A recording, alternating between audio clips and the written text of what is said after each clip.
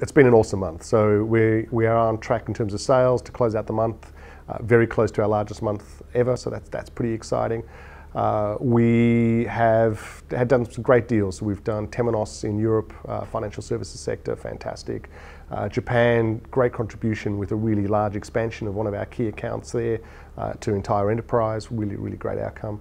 Uh, the US have been smashing it with renewal rates, so that's been awesome. And uh, here in Oz, um, we did a fantastic software vendor partner event, so really lots coming out of it as well in terms of growth and, and potential moving forward.